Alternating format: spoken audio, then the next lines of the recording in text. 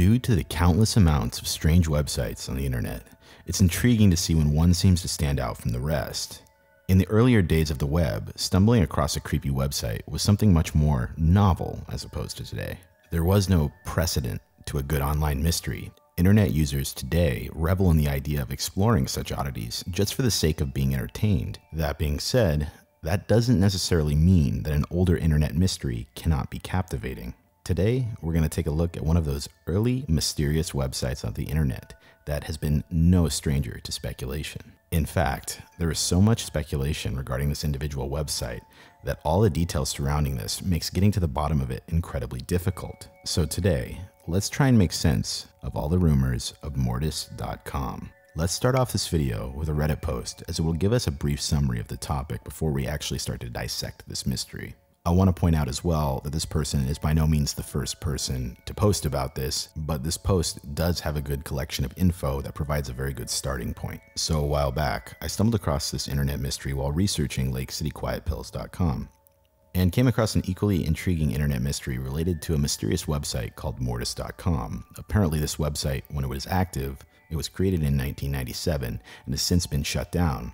This page came up with a login and password screen that, according to some experts, was extremely hard to hack into, with some resorting to brute force applications and having little to no luck in getting past the login screen. It got a lot weirder when more people started to look into it because more and more connections and links were starting to be made with this website. Some of the strange aspects were the website seemed to be linked to a dentist office, a lawyer, and a high-end security firm. Usenet files were discovered to be linked back to the website that were apparently encrypted with password protection and had weird titles. Some of the file sizes were huge, one of the biggest being 39 gigabytes in size, which got people wondering just what this website was hiding. All references to this site have since been removed from the internet, including a wiki page, and there's not much information regarding the website itself. The website was apparently owned by a mysterious individual named Thomas Ling, although it was speculated that this was an alias as there seemed to be great difficulty in trying to gather and ascertain any information about him other than he was an artist at one point.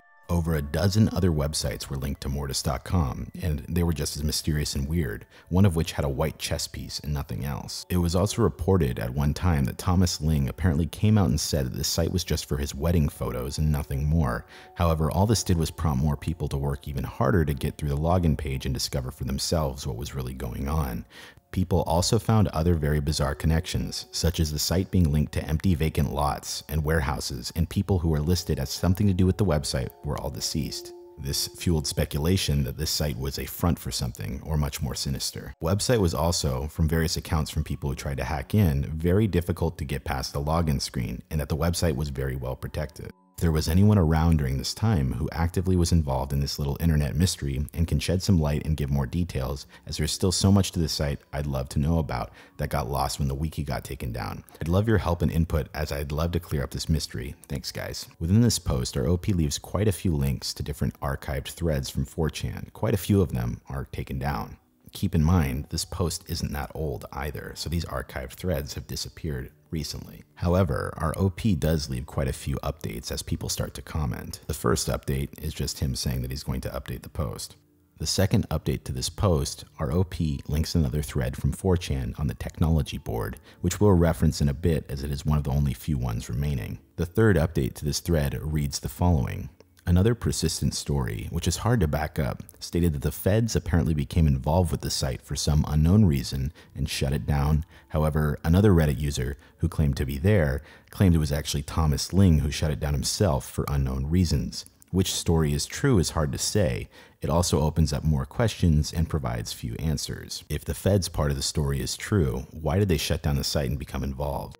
If it was Thomas Ling who came along and shut down the site himself, I can only assume it was because of all the attention he was getting, and he decided to shut it down before anyone got close to discovering what he was up to. Update 4 states there were other websites that were backtracked as belonging to Thomas Ling that were just as weird and equally mysterious as Mortis.com, which included Cthulhu.net. This one was said to contain nothing but a white chess piece with a very eerie saying, dead but dreaming, whatever that means.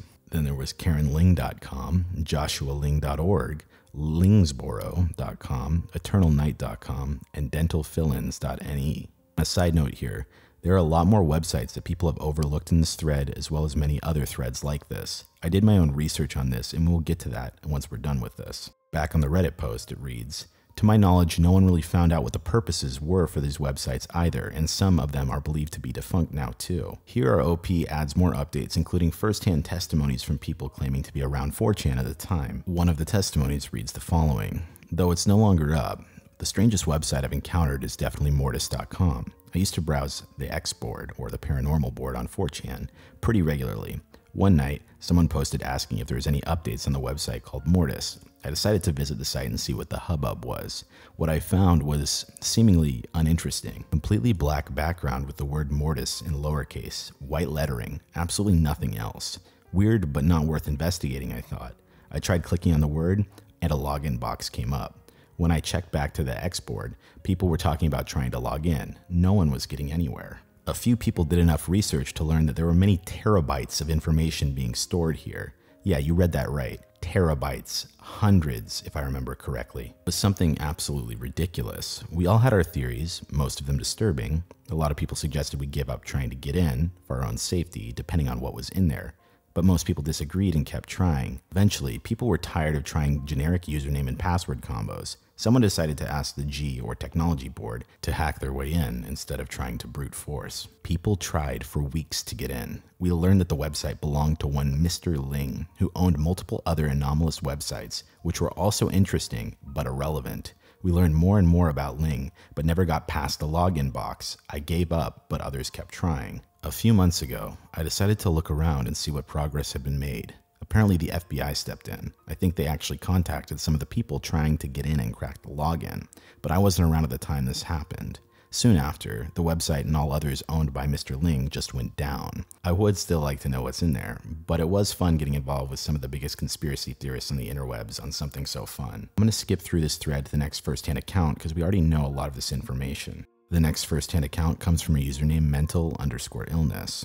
I was in all the IRCs and stuff when all this happened. The FBI had no involvement, sadly. The dude who owned the site came into our IRC chat and told us it was just family photos or something. When we asked him for proof that we were talking to the real guy, he changed the front page of the website to some text explaining himself, then quickly took it down. It was all very, very fishy. He had another site which showed an image of a knight chess piece and offered a login when you clicked on it. Nobody got into that one either. I don't remember the URL. Okay, there's a ton of information here, but this gives you a general understanding of this mystery as a whole and how many rumors regarding this website have been created. The hard part here is confirming all the rumors circulated throughout this post. There's a lot of conflicting information. If we want to create a logical understanding of what's going on with this website, we need to be able to verify things ourselves. As I said previously, many of the links to 4chan threads, as well as any other archived threads, have since been lost or dead. If there is one thing we can say for certain just from all these rumors, is that the creator of the website obviously knows what it's used for, and we know who that is. It's Thomas Ling. So, Let's start there. A great way to learn more about Thomas Ling is to look up what websites he created. For reference, what I'm about to look at is public records. They're required when you register a website under your name. If we do a reverse DNS lookup, for the name Thomas Ling, we find 25 domains created under this first and last name. The first one ever created was Mortis.com, as well as the following websites. I will say, it does seem like Thomas Ling has gone out of his way to remove this website from existence. This truly shows whatever is on this website is definitely trying to be hid and left in the past. We know this because someone contacted the Wayback Machine to remove sites from their archive. I just want to point out that I've looked through the Wayback Machine quite a bit and I've only seen this a handful of times. So, since we can't even view what the original website looked like, we're going to have to look through the other websites by Thomas Ling to get a full picture of what was going on. However, we need to actually find websites by Thomas Ling, the one who created Mortis.com. But the thing here is that when you do a reverse domain search, anyone with the name Thomas Ling would fall under this search, and we need to narrow it down even further. If you still don't understand what I mean by this, for example, if your name was something really common like John Smith, then you would be lumped into this list with a bunch of other John Smiths that had registered websites on the public record. The list of websites I believe to be helpful in this situation are the ones that all seem to be under the same domain registrar, which goes by the name Pair Networks Incorporated. If you're unfamiliar with what a domain registrar is, it is essentially a company that is involved in reserving the name of a website for you. Most of these websites under this registrar are created around the same time as Mortis.com. Here are a list of those websites. Keep in mind I had to go through these one by one and find valuable information all pertaining to this. These websites are Cthulhu.net, dentalfillins.com, eternalnight.com, exercio.com, jeffreyling.org, joshualing.org, karenling.com, lingsboro.com, mortis.com, and thomaslingdds.com. Since we already know about mortis.com, that it was just a page with a login, and that we can't really check out the past history of the website, let's look at the next one in the timeline. That was created an entire year later in 1998. This website is exercio.com, which I forgot to mention is also redacted from the Wayback Machine. Here's the thing though this website is actually still up, regardless of not being on the Wayback Machine. Going to this website, we find a directory with a few labeled items quilts.html, quilts underscore files, robots.txt, and a folder called sale. The only one that I found helpful in this case was the quilts.html link.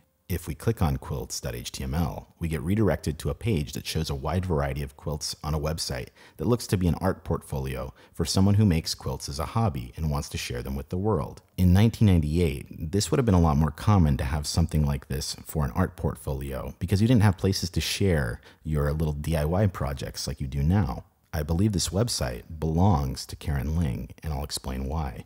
On the titled post of the homepage, we can't click anything, but we can see is that this woman has made a quilt for two people on their first birthday, Joshua and Jeffrey, which, if we go back to the list of our domains that I said would be helpful, what do we see?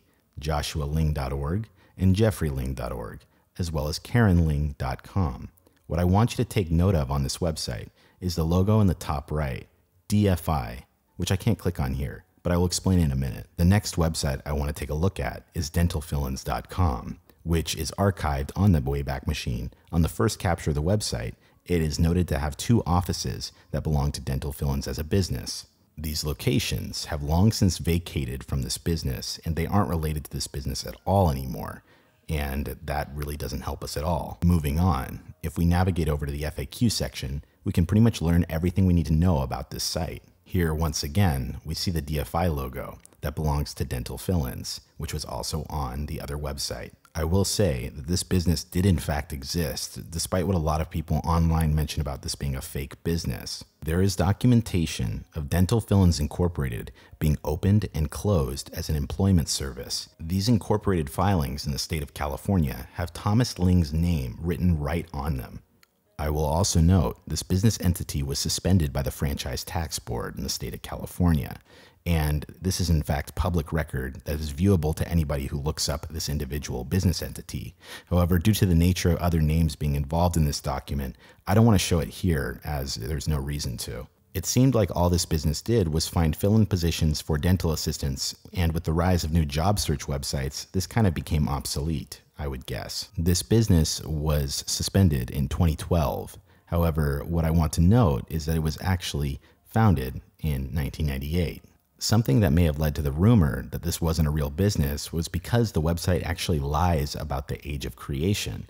It says that it was actually in 1968 when the business was founded. However, we know it to be 1998. Moving on, before we get to the weird websites, there is still one normal one that remains on our list.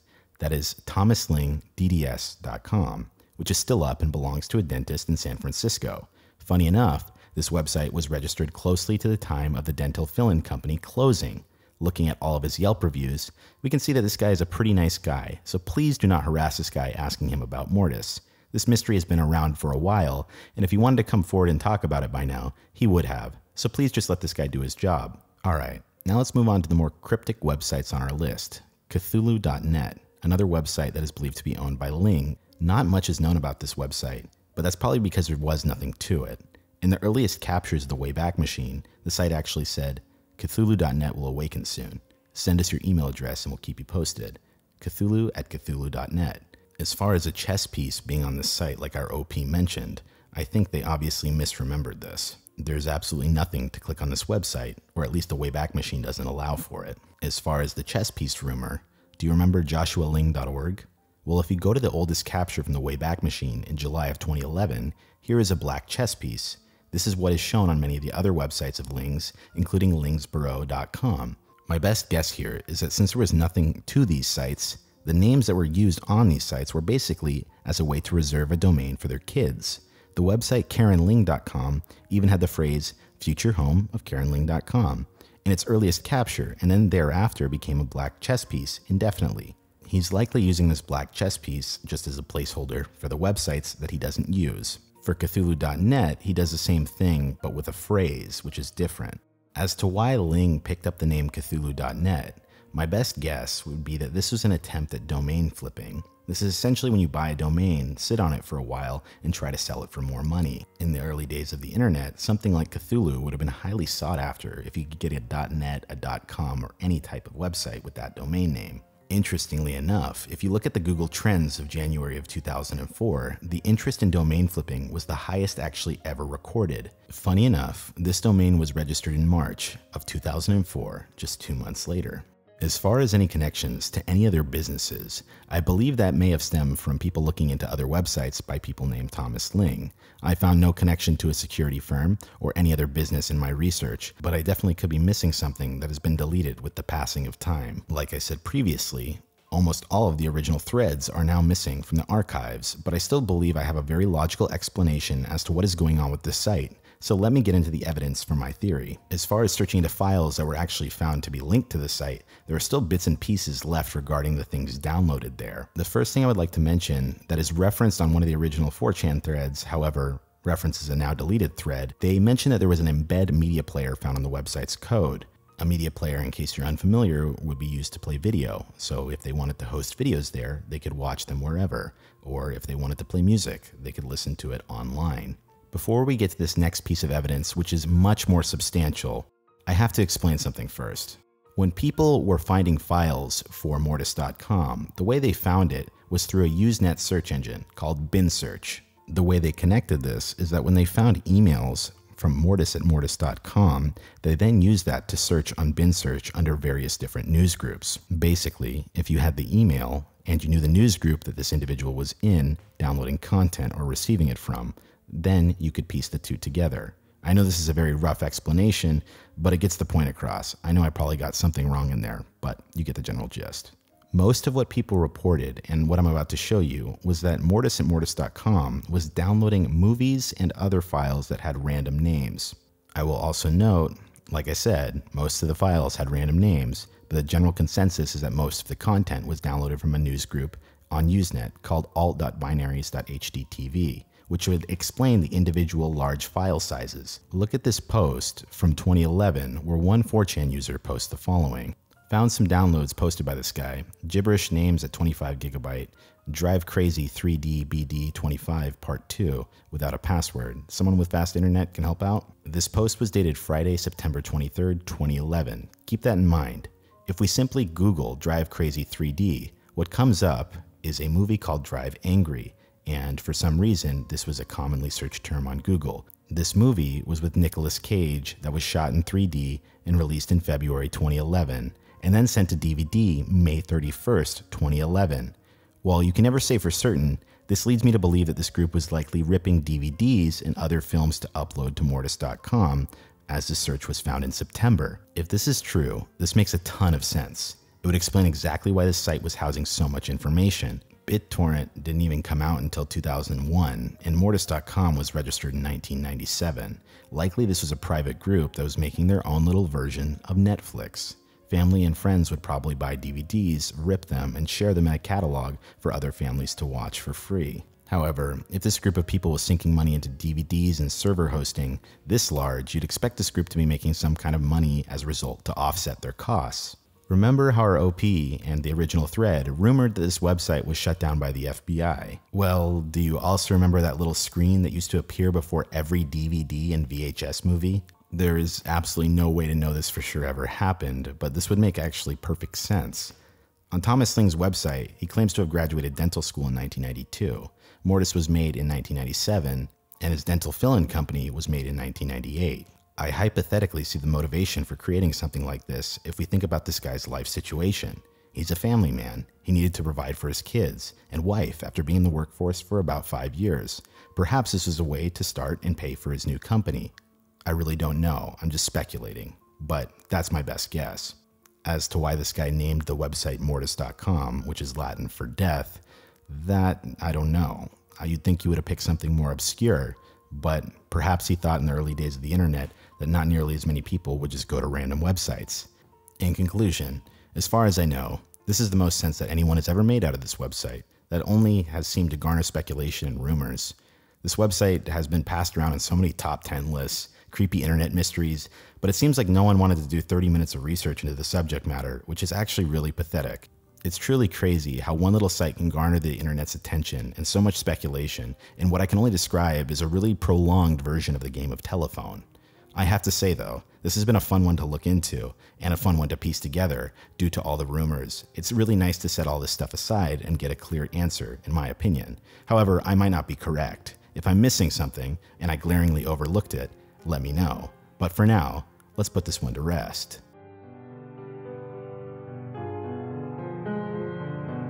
If you enjoyed this video, consider subscribing or checking out my other content. That is all. Bye bye.